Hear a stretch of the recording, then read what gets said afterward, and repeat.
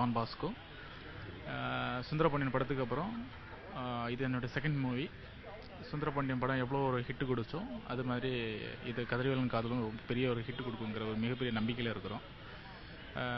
இந்த படம் எங்களுக்கு ஒரு பெரிய சக்ஸஸ் ஃபிலிமாக இருக்கும். சுந்தரபாண்டியனை விட ஒரு பெரிய சக்ஸஸ் ஃபிலிமாக இருக்குங்கிற மிகப்பெரிய நம்பிக்கையில் இருக்கிறோம். Hi sir good evening very good evening to Maalaimalar audience viewers இது after long time probably copy இல்லாத ஒரு டிஃப்ரெண்ட்டாக பண்ண role Kathirvelan Kadhal with Udhayanidhi sir and very special thanks to director Prabhakar sir thank you Maalaimalar viewers எல்லாருக்கும் வணக்கம். நான் director SR Prabhakaran பேசுகிறேன் சுந்தரபாண்டியன் உங்கள் எல்லாருக்கும் எவ்வளோ தூரம் பிடிச்ச படம் நான் சொல்ல வேண்டியதில்லை.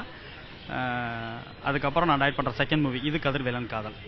Red Giant Movies பேனரில் Udhay sir produce பண்ணி uh, ஹீரோவை ஆக்ட் பண்ணியிருக்காரு. அவரோட பேரா நயன்தாரா மேடம் பண்ணியிருக்காங்க. சந்தான சார் இருக்காரு. ஒருக்கள் ஒரு கண்ணாடியில் வந்து அவங்களுடைய காம்பினேஷன் எவ்வளோ தூரம் ஹிட்டோ அது எங்கள் இந்த படத்துலையும் ஃபுல்லாக இருக்குது. படம் ஃபுல்லாக அவங்க ரெண்டு பேருடைய அந்த காம்பினேஷன் அந்த ஃப்ரெண்ட்ஷிப் படம் இருக்குது. படத்தில் வந்து படம் டில் எண்டு வரைக்கும் கிளைமேக்ஸ் வரைக்கும் அவ்வளோ ஜாலியாக போயிருக்கு ஸ்கிரிப்ட் அதுக்கு வந்து சந்தான சார் ரொம்ப உதவி பண்ணியிருக்காரு. அவருக்கு இந்த இடத்துல நான் தேங்க்ஸ் சொல்லிக்கிறேன். அப்புறம் சரண்யா பொண்ணுவன் மேடம் அவங்கள நான் சொல்லி ஆகணும். இப்போ சமீபத்தில் அவங்க வந்துட்டாவே அவங்களுக்கு சொல்லி அந்த அந்த கேரக்டருக்கான இம்பார்ட்டன்ட் கூடிரும். ஸோ uh, இதுலேயும் ரொம்ப முக்கியமான ஒரு கேரக்டர் பண்ணியிருக்காங்க சரண்யா மேடம். அப்புறம் நரேன் சார் இருக்கார். சுந்தரபாணியில் எப்படி இப்படி ஒரு அப்பா இருந்தால் எங்களுக்கு இப்படி ஒரு அப்பா இருக்கணும் அப்படின்ற ஏக்கம் எல்லாருக்கும் இருந்துச்சோ அதே மாதிரி இதுலேயும் இருக்கும். அந்த ஆதங்கம் இதுலேயும் அவர் சரி பண்ணி கொடுத்துருக்காரு. இந்த படம் பார்க்கும்போதும் எங்களுக்கு இப்படி ஒரு அப்பா இல்லை அப்படின்ற ஆசை எல்லாருக்குமே வரும். இப்போ சாயா சிங் மேடம் ரீஎன்ட்ரி ஆயிருக்காங்க. ஜேபி சார் ஆக்ட் பண்ணியிருக்காங்க. பரத் ரெட்டி பண்ணியிருக்காரு. ஸோ மியூசிக் டைரக்டர் வந்து ஹாரி தெரேசா அவர் கூட மின்னலில் அவரை ரொம்ப பிடிக்கும். அவரோட சாங் எல்லாமே ரொம்ப பிடிக்கும். செகண்ட் மூவிலே எனக்கு அவர் கூட ஒர்க் பண்ணுற வாய்ப்பு கிடச்சிருக்கு. இது எல்லாமே வந்து ரெட் ஜெயின் தான் காரணம் அப்படின்னு நான் நம்புகிறேன் அதுக்கப்புறம் கேமராமேன் பாலசுப்ரமணி சார் சொல்லணும். பொதுவாக வந்து ஒரு டேரக்டருக்கு வந்து ரொம்ப சப்போர்ட்டாக வந்து கேமராமேன் இருக்கணும். எனக்கு வந்து அவர் அவர் நிறைய படம் பண்ணிட்டார். ரொம்ப சீனியர் நான் வந்து செகண்ட் மூவி பண்ணுற டேரக்டர் ஆனால் அப்படி எந்த இடத்துலையும் இல்லாமல் எனக்கு ரொம்ப சப்போர்ட்டாக இருந்தார் பாலசுப்ரமணி சார். அவருக்கு நான் தேங்க்ஸ் சொல்லிட்டேன் இப்போ பெரிய டெக்னிக்கல் குருவும் எல்லாருக்கும் பிடிச்ச ஒரு ஆர்டிஸ்ட் பட்டாளமாக படத்தில் இருக்காங்க. எல்லாமே கதைக்குள்ளே ரொம்ப அழகாக ஒர்க் பண்ணியிருக்கோம். சுந்தரபாண்டியில் வந்து நட்பு எவ்வளோ முக்கியம் வாழ்க்கையில் அப்படின்னு சொல்லியிருந்தேன். இது கதிர்வேல் காதலில் வந்து காதல் எவ்வளோ முக்கியம் சொல்லியிருக்கேன். அதுக்காக காதல் முக்கியம் அப்படின்னா பேரண்ட்ஸை வந்து அவாய்ட் பண்ணிட்டு தூக்கி போட்டுட்டு ஒரு காதலில் நம்ம ஜெயிக்கணும்னு போயிடக்கூடாது. காதல் எவ்வளோ முக்கியமோ அந்த அளவுக்கு நம்மளோட குடும்பமும் பேரண்ட்ஸ் முக்கியம் சொல்லியிருக்கேன். ஸோ எல்லாருக்கும் பிடிச்ச படமா இருக்கும். உதயநிதி ஸ்டாலின் நயன்தாரா பிரபாகரன் பாலசுப்ரமணியம் எல்லாம் ரொம்ப நல்ல காம்பினேஷன் இவங்களோட நானும் சேர்ந்திருக்கேன். மறுபடியும் உதயநிதிக்கு அம்மாவாக நடிக்கிறேன். ஓகே ஓகேக்கு அப்புறம். ஓகே ஓகே விட இது இன்னும் சூப்பராக ஒரு பெரிய ஹிட் படமாக இருக்கணும்னு நான் ஆசைப்படுறேன். ஆண்டவனை வேண்டிக்கிறேன். மாலை மலர் நேர்களுக்கு வணக்கம். நான் உங்கள் நரேன் பேசுகிறேன் நீங்கள் என்ன பார்த்துட்டு இருக்குது இது கதிர்வேலனின் காதல் திரைப்பட பாடல் வெளியீட்டு விழா. அஹ், ஹாரிஸ் இசையில் அருமையான பாடல்கள். அப்போ தான் கேட்டு ரசித்தோம் நீங்களும் கண்டிப்பாக கேட்டு ரசிச்சிருப்பீங்க. அதே மாதிரி திரைப்படமும் உங்களை எல்லாரையும் ரசிக்க வைக்கும். இது திரு இயக்குனர் எஸ் ஆர் பிரபாகரன் அவர்களுக்கும் உதய் சார் அவர்களுக்கும் இது இரண்டாவது படம். அபரிதமான உழைப்பு. ரொம்ப நல்லா வந்திருக்கு. இது ஒரு ஃபுல் ஃபேமிலி என்டர்டெய்னர் எந்த விதத்துலையும் உங்களை அது ஒரு நல்ல ஒரு பொழுதுபோக்கமா பொழுதுபோக்கா ஒரு டீசெண்டான ஒரு திரைப்படமாக கண்டிப்பாக இருக்கும். இந்த ட்ரெய்லர் வந்து உண்மையிலே ஃபர்ஸ்ட் வந்து என்னை இம்ப்ரெஸ் பண்ணது வந்து சினிமாட்டோகிராஃபி பாலசுப்ரமணியன் சாரோட அந்த சினிமாட்டோகிராஃபி கண்ணில் ஒத்திக்கிற மாதிரி இருந்துச்சு. ஹிந்தி படம் பார்க்குற மாதிரி இருந்துச்சு. அப்புறம் சொல்ல வேணாம் ஹாரி சாரோட சாங்ஸு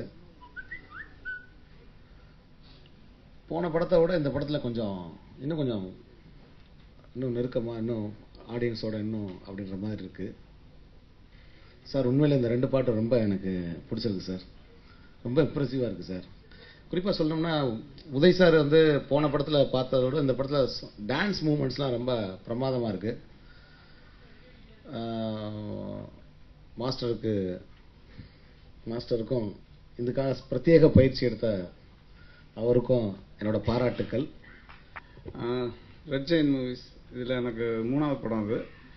உதய் சாரோட இது ரெண்டாவது படம் பண்ணுறேன் போன படம் அடுத்த படம் நான் தான் பண்ணுறேன் இந்த போன படம் ஒர்க் பண்ண உதய் சாருக்கும் இதுக்கும் நிறைய டிஃப்ரென்ஸ் இருக்குது ஏன்னா போன தடவை கொஞ்சம் எடுக்கும்போது சீன் எடுக்கும்போது கொஞ்சம் பயம் இருக்கும் மூஞ்சியில் லைட்டாக தெரிஞ்சிட்டே இருக்கும். பட் இந்த படத்தில் சுத் அந்த அந்த இதுவே இல்லை. சுத்தமாக பயம் இல்லாமல் குறிப்பாக வந்து டான்ஸ் ரொம்ப நல்லா பண்ணியிருக்காரு ஆக்சுவலாக அந்த ரெண்டு சாங் இப்போ இன்னொரு சாங் புதுசாக எடுத்த சாங் ஒன்று இருக்குது லாஸ்ட்டாக எடுத்தது. அந்த படம் பா அதை பார்த்தா உங்களுக்கு தெரியும். அவ்வளோ நல்லா ஆடிருக்காரு சும்மா சாங் முடிச்சுட்டு நாங்கள் பார்க்கும்போது மானிட்டரில் பார்க்கும்போதே ஒரு சப்போஸ் டான்சர்ஸ் காலும் ஒரு காலும் லேண்ட் ஆகுதான்னு மறுபடியும் இன்னொரு போடுங்க சார் ரிவன் பண்ணுங்கள் எனக்கு சரியாக லேண்ட் ஆகல. நின்று அதை மறுபடியும் பார்த்துட்டு இன்னொரு ஒன் மோர் போகலாம் ஒன் மோர் போகலாம்னு சொல்லி சொல்லி அவராகவே take one more one more சொல்லி ஒரு நாலஞ்சு ஒன் மோர் வாங்கி கரெக்டாக ஆர்டர் வரைக்கும் விடாமல் பண்ணியிருக்காரு ரொம்ப நல்ல முயற்சி ரொம்ப நல்லா பண்ணியிருந்தார் இந்த படத்தில். இந்த படத்தில் எடுத்தோடனே ஒரு ஒன் வீக்லேயே நாங்கள் கம்போசிங் போய் ஒரு வாரத்தில் ஒரு மூணு பாடல் கம்போஸ் பண்ணிட்டோம். ஸோ கிடுகிடுகிடுன்னு அப்புறம் ப்ராசஸ் லேட்டாக ஆரம்பிச்சுட்டு படம்னு ஓடிச்சு. அப்போது குறிப்பாக சொன்ன மாதிரி நாலு சாங் முடிஞ்சிருச்சு. இந்த படத்தில் அஞ்சாவது பாடல் பண்ணும்போது தான் ஒரு பயங்கரமான ஒரு கடமை இருந்தது. என்னென்னா முந்தின படத்தில் ஒரு பாடல் ரொம்ப பட்டி தொட்டிலாம் ரொம்ப பேசப்பட்டுச்சு. ஸோ எப்படியும் தெரிஞ்ச தெரியாமல் அந்த மாதிரி ஒரு விஷயத்துக்கு எதிர்பார்ப்பாங்க. ஸோ அதையும் பூர்த்தி பண்ணணும். ஆனால் அதே போல் இருக்கக்கூடாதுன்னு சொல்லிட்டு இந்த வாட்டி வந்து குத்துப்பாட்டு குத்து பாட்டு கிடையாது கண்டிப்பாக கூத்து பாட்டு தெம்மாங்கு பாட்டு. ஸோ சவுத் கதை நடக்கிறதுனால அஹ், நாங்கள் டிஸ்கஸ் பண்ணி மதுரையிலேருந்து தஞ்சாவூர்லேருந்து சரி கிட்டத்தட்ட அந்த பாடலுக்கு ஒரு ஒரு ஏழு எட்டு சிங்கர்ஸ் எல்லாமே தெம்மாங்க பாடுற கிராமிய பாடகர்கள். ஸோ ஃப்ரெஷ்ஷாக இருக்கட்டும் சொல்லிட்டு கொண்டு வந்து நிறைய பேர் ஆடிஷன் பண்ணி அந்த அந்தாஜா சாங் பண்ணது.